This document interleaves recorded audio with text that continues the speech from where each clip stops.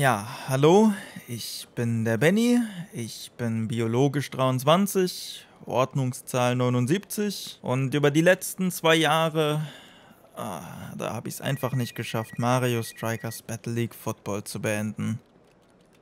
Ich sollte diesen Raum verlassen, oder? Yep. Werfen wir doch mal einen Blick auf meine Spielesammlung. Okay, da hätten wir Metroid Prime Remastered, noch eingeschweißt, aber was nicht ist, kann ja noch werden. Pikmin 1 plus 2, ja, okay, auch eingeschweißt, aber ich habe Pikmin 3 Deluxe dafür ausgepackt und zweimal angefangen. Und ich habe Pikmin 4 ausgepackt und einmal angefangen. Seid aber nicht besorgt oder frustriert. Wenn das Muster so bleibt, spiele ich Pikmin 1 ganze vier Male. Aber vielleicht ist Pikmin ja einfach nicht so mein Franchise. Genauso wie Splatoon 3. Oder Xenoblade 3. Oder Splatoon 3. Oder Splatoon 2. Vielleicht kann ich ja nur Mario-Spiele durchspielen. 2022 habe ich mir Paper Mario The Origami King gekauft. Es war gerade zu einem guten Preis zu haben. Ich habe nur Gutes vom Spiel gehört. Ich habe mich entsprechend sehr darauf gefreut, 2023 dann damit anzufangen für unter anderthalb Stunden. Oder Super Mario RPG, im November frisch erschienen, bestens überarbeitet, super geeignet für Neueinsteiger, habe ich innerhalb von unter 89 Minuten dann auch gemerkt. Ja gut, komm, aber ein 2D Mario geht immer. Was hab ich da schon alles durchgespielt? Super Mario Land, Land 2, Bros, Bros 2, Bros 3, Lost Levels, World, allesamt mehrfach beendet. Super Mario Bros. Wonder ist nun einer der größten Titel von 2023. Das habe ich doch bestimmt bis zum Ende von Welt 1 gespielt? Was denn überhaupt mit meinem Stapel der Schande, den ich mal an Weihnachten aufgestellt habe? Stray für PlayStation 5? Nicht angefangen. Portal 2? Nicht angefangen. Super Mario Odyssey? Angefangen.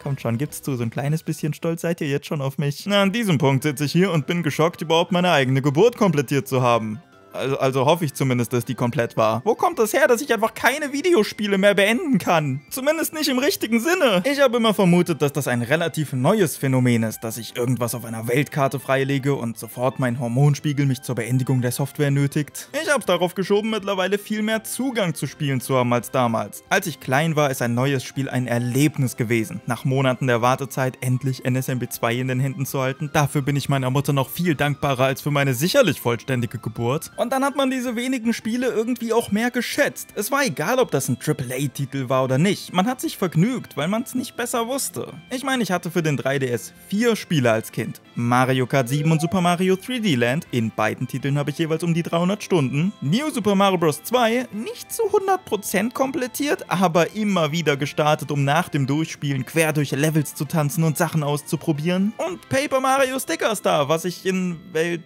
2 ab gefeiert habe, sodass ich es im Traum durch...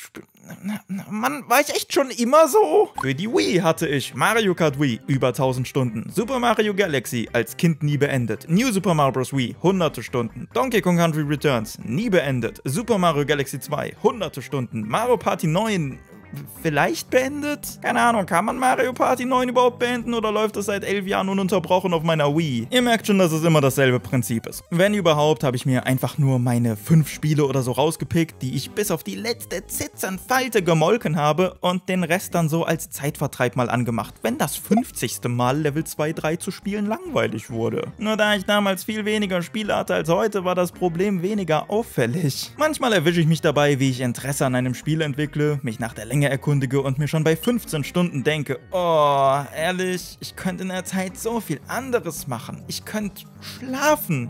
Im Straßenverkehr. 1% der Zeit. Ich rede mir bei so Spielen, die kürzer sind als die Lebenserwartung meiner Verkehrsteilnehmer, gern ein, oh, das ist so ein Commitment. Ich weiß nicht, ob ich bereit bin, einen Sch Samstag in Balan Wonderworld zu stecken. Offensichtlich habe ich aber kein Problem damit, über Monate meines Lebens Yoshi in einem Donut mit Masern anzustarren da, da, fällt mir ein, ich könnte in den 15 Stunden auch mal zum Arzt gehen. An sich könnte es mir egal sein. Ich bin dann halt kein Variety-Gamer, wie es die Bunte oder so ausdrücken würde. Ich pick mir eben immer meine kleine Handvoll Spiele, genieße diese dann in vollen Zügen und die Welt steht im Gleichgewicht. Plus, ich spare mir das Geld, all diese Spiele zu holen, die ich nur für Minuten teilweise überhaupt starte. Aber ich habe trotzdem Interesse an all diesen Spielen. Ich will deren Charaktere kennenlernen, das Gameplay erleben, wissen, was diese Spiele besonders macht und das nicht immer nur über Reviews oder Wiki-Einträge mir zusammenpuzzeln Inseln. Was also stoppt mich? Naja, wir können schon mal eine Abspannallergie ausschließen. Immerhin habe ich dieses Jahr schon Super Mario Bros. 3 beendet.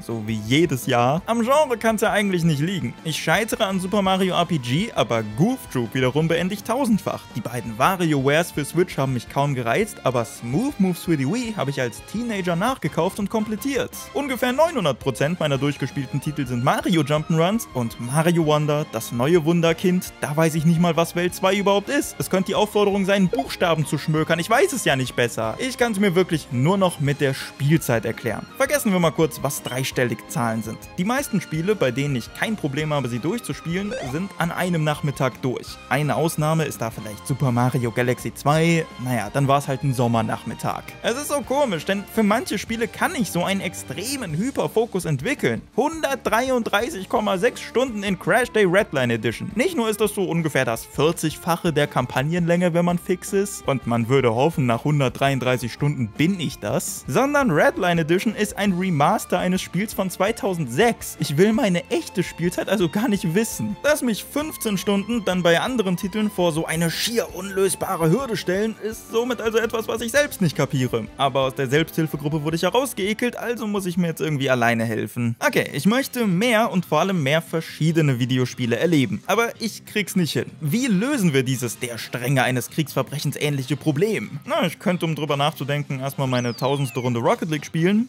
Nein, Spaß könnte ich nicht, ich habe schon über 1000 Runden. Ich habe so einige Sachen schon probiert. Ich habe zum Beispiel probiert, mir einzureden, dass Videospiele nicht so wichtig sind und ich mir einen Job suchen sollte. Das klang zunächst nach einem soliden Plan, dann habe ich gemerkt, dass ich im Oktober versehentlich Mario vs. Donkey Kong vorbestellt habe und mir gedacht, für solche Momente lebe ich. Sowas gebe ich nicht einfach auf, um Anwalt zu werden. Okay, wie wär's damit? Ich nehme mir die Videospiele vor, als wären sie mein Beruf. So, von 16 bis 18 Uhr steht morgen eine Schicht Dragon Quest 11S Streiter des Schicksals Definitive Edition an. Das Spiel hat mehr Silben als mein Lebenslauf. Sich so Zeitfenster zu geben, in denen man ein Spiel auf jeden Fall zu spielen plant, klingt diszipliniert, bis man merkt, dass man gerade seine Freizeitunterhaltung strikt reglementiert und fast schon gatekeept. Was, wenn mir um die Uhrzeit doch nach einem anderen Spiel ist? Soll ich mich dann zwingen zu einem Videospiel, auf das ich in dem Moment wenig Lust habe? Oder soll ich mich schlecht fühlen, weil ich mich gut fühlen will? Wie wär's mit einem Zufallsgenerator, in den ich all die Spiele, die ich mir irgendwann mal gekauft habe, reinschreibe und dann wird zufällig ausgelost, was ich als nächstes nächstes durchspielen muss, bevor ich ein anderes Spiel anfange. Damals, als ich mir Videospiele quasi nur wünschen und fast nie selbst kaufen konnte, hat das ja auch irgendwie geklappt. Das habe ich jetzt noch nicht probiert, aber ich habe Angst, dass ich mir ein Spiel erwürfle und mir dann selbst einrede, dass ich ja nochmal würfeln könnte, um vielleicht ein anderes Spiel zu bekommen. Ihr merkt schon, mit mir zusammenzuleben muss eine echt geile Erfahrung sein. Okay, wie wär's damit? Ich erzähle der ganzen Welt, was ich angefangen habe, sodass, wenn ich einen Abbruch zugeben muss, es mir richtig unangenehm sein wird und ich dadurch die Disziplin aufwende, das Spiel durchzuziehen. Ich habe euch ohne Scham ins Gesicht gesagt, dass ich Mario Wonder am Anfang abgebrochen habe. Ich glaube, ich bin mittlerweile einfach abgestumpft. Und es bringt mich so langsam zur Verzweiflung, okay? Was wird die Bunte als nächstes über mich schreiben? Natürlich will ich mir keinen Stress machen, wenn es ums Zocken geht, aber so wie aktuell kann es nicht weitergehen und ich bin ja offensichtlich unzufrieden. Vielleicht muss ich die Spiele, die ich dieses Jahr durchspiele, einfach mal tracken. Machen auch andere so. Was haben wir denn da bisher? Super Mario Bros. 3 für Super Nintendo, gefolgt von Super Mario Bros. 2 und Super Mario Bros. The Lost Levels und Super Mario Bros. Geil geile Bilanz bisher, so viele neue Erfahrungen. Zu meiner Verteidigung, ich habe kürzlich mit Ocarina of Time angefangen. Die krustige, kratzige N64-Version. Und ich komme bisher gut durch. Mein minus zweijähriges Ich wünschte es zum Launch schon gespielt zu haben. Das Spiel ist charmant wie Sau. Es hat genau die richtige Menge Brokkoli-Mädchen für mich. Hätte ich die 3D-Version nehmen sollen, ja hätte ich. Aber die alte Version hat ihren eigenen Flair. Ich mag's. Mit dem Gedanken, dieses Jahr dann das erste für mich neue Videospiel durchgespielt zu haben, ist auch eine gute Motivationsquelle vorhanden. Und das Beste ist, wenn Ocarina of Time durch ist, kann ich ohne Gewissensbisse Skyward Sword spielen, was ich mir 2024 gekauft habe, ohne je New Pokémon Snap ausgepackt zu haben. Ach ja, Pokémon ist ja auch noch ein Franchise mit Spielen. Jetzt mal ehrlich, wie bleiben Normalsterbliche bei mehr als fünf Franchises auf einmal auf dem Laufenden? Ich krieg nicht mal New Pokémon Snap auf und Leute da draußen fangen schon an, sich über Franchises zu unterhalten, die für mich nach Tüten Suppensuppen klingen. Verpasse ich wirklich so viel Gaming-Content? Ich meine, OOT ist für mich neu, also scheinbar ja. So kann ich mich gar nicht richtig Core-Gamer schimpfen und das, obwohl ich nichts Produktives für die Gesellschaft leiste. Ich ändere das dieses Jahr. Das habe ich jetzt einfach so entschieden. Diesmal stelle ich mir keinen Stapel der Schande auf. Dieses ganze Konzept eines Backlogs funktioniert für mich bei Videospielen einfach nicht so gut wie bei Steuernachzahlungen. Ich möchte nicht eine Liste abarbeiten müssen, die mein Vergangenheits-Ich stumpf aufgestellt haben würde, weil, äh, es gehört zum guten Ton, Super Metroid irgendwann durchgespielt zu haben. Dann haben wir wieder nur das Gatekeeping-Problem. Wenn wir Oktober 2024 haben und ich erfahre, ich habe nur noch einen Tag zum Leben, soll mein erster Gedanke nicht sein, oh nein, ich habe mir Portal 2 dieses Jahr wieder vorgenommen und ich habe es noch nicht gespielt.